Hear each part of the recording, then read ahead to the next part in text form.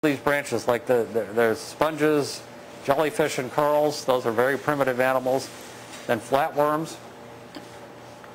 and then a big branch that's got the uh, various invertebrate species, mollusks, uh, uh, insects, roundworms, and so on. You're familiar with all those things like scallops and fruit flies and, and nematode worms. And then there's the big branch that we're on. And uh, this is always shocking to people, but, the, but we're more closely related to sea urchins than we are to flies. I mean, if you, you were to put down a sea urchin here, you know, little things you get out of a tide pool with little spines on the surface, and you had a fly uh, and, a, and a lobster and, uh, and a sea urchin, and you had to pick out which ones you were more closely related to, the sea urchin would be the last one you'd pick as your, your nearest relative on the table there. Okay? Anyway, we're, we're, we're reasonably closely related to sea urchins. And then we've got uh, fish and what all do we have on here? Uh, amphibians, reptiles, that's where the dinosaurs were. And then we've got the mammals up here at the top. And there's us and uh, uh, Homo sapiens and chimpanzees uh, right up at the top. We only diverged about 5 million years ago. Can you say something about the fact that the developing embryo seems to retrace Very good. uh, evolution? Okay, this is a 19th century idea that, that if you look at an embryo, you can get some idea of what must have happened during, embry- uh, during evolution. And it's true, if you look at a, at a fish and a human at, uh, at an early stage of embryonic development, they look almost exactly the same. Uh, and then, of course, different things happen. We end up with limbs and they end up with gills. But at the early stage, we've, we've, we've got little, small little limbs, just like a fish. And uh, we we actually have something that's a little bit like a gill at an early stage. So this is one of the one of the pieces of scientific evidence that reinforced the fact that we were all related to each other. Because if you look early enough in our development, we in fact do all look relate, do look re closely related to each other. Um, yeah, great point. What else? Yes. Um, so Darwin came up with the idea of basically reductionist selection, Yeah. um, without knowing the genetics Yes. at that time. But now, knowing the genetics, how it simplified and complicates the evolution. Oh, it greatly simpli- it greatly simplifies understanding evolution because it provides a mechanism, and it provides so much data. Um, uh, Darwin didn't have any idea how these things were happening.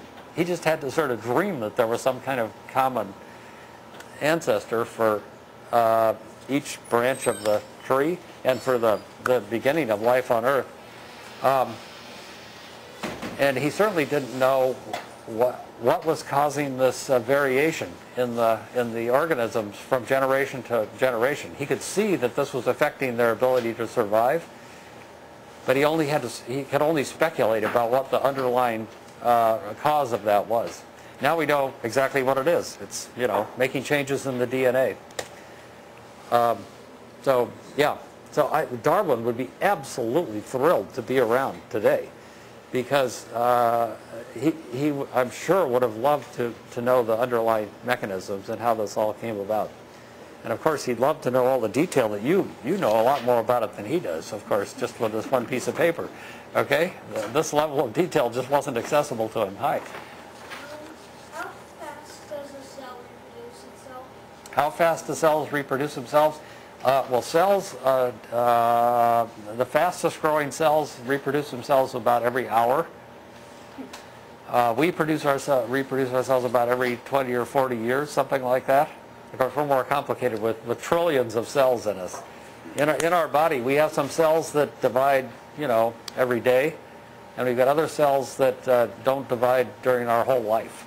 So there's a lot of uh, variation there.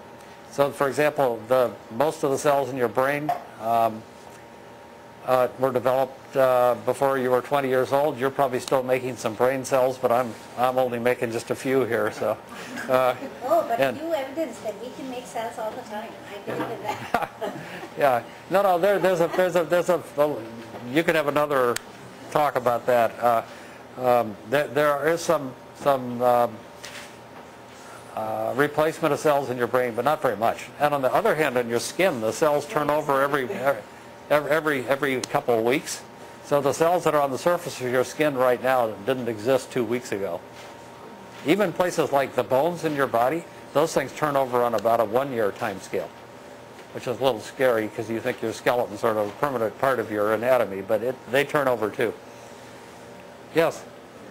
I'm wondering what it is that you do now in in your laboratory. What else, what else is you, are you look- trying to find out? Okay, I, Where's it, where's it going to take? I- I mean, I- if you're able to, you know, know this, all this DNA sequencing, and Right. to manipulate that, are you messing with evolution? no, I'm just, I'm just uh, fascinated by it. Um, I mean, it would be an ethical. So let, let, I- I'm interested in what the young man asked over here. I'm interested in how the cells divide and how they move around, which are both age-old questions in biology. Ever since people made microscopes 400 years ago, they could see cells suddenly, or 300 years ago, could see cells and they saw them crawling around, which was fascinating. Maybe some of you saw that in a high school biology course, an amoeba crawling around or something like that. I saw that and I said, I want to figure out how that works. And I also observed in a high school biology course cells dividing in two like this. and I said, I want to figure that out too. And so I've been working on that since I was a college student. And uh, we, we know an unbelievable amount of information about these things now. Enough so that we have mathematical models that explain how all the molecules work. Uh, I thought it'd be better to talk about evolution here, here today because this is, this is a subject of much greater importance in biology and of much, much broader interest. But we, we can talk about something more complicated about how cells crawl around sometime too. So, um, I, uh, I'm sure Tom has provoked a lot of thought and questions in your mind. And so the books, actually, I do know Richard Dawkins' book is there in our Branford library. So I'm sure if you're not from Branford, other public libraries have it if you're not going to purchase it. And it, is, Richard Dawkins has several books which deal with evolution and biology. And he is a very good writer. So I highly recommend that you read something by him, if not this book. And if you have any questions, uh, I think uh, I'm taking the liberty to say that perhaps you could talk to Tom by email, I don't know. Uh, Sure. uh, he's very accessible, I know, because uh, he agreed to speak here today, even though I don't know him. So I just sent him an email and uh, I know you now. What? And I hope he doesn't regret it. No, no, I've had a lot of fun. You, you're a very good audience. You've asked really uh, excellent questions. One, one thing we could do is be to put the uh, chapter on evolution out of our textbook on your website. oh, that'd be great. Yeah. then, then you can just download a PDF file and look at that.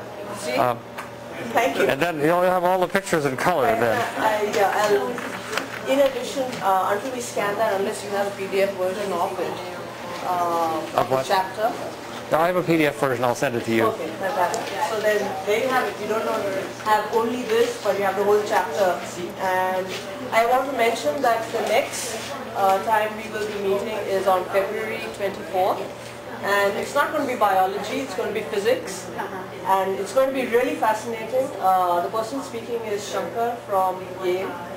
He's going to talk about quantum mechanics and who cares about it and does anybody care? and trust me, it's very fascinating. Uh, we're trying to keep the topics that we discuss here as broad as possible, so not just focus on biology and perhaps down the road, maybe in March or April, uh, there's someone from chemistry who's going to come and talk to us. But I'm trying to keep this once every four to six weeks uh, and then take some time off for the summer because people may not be here and then we meet again. But next month is physics and perhaps the one after that is chemistry. So thanks for coming and I really Thank you. appreciate it. You, Tom.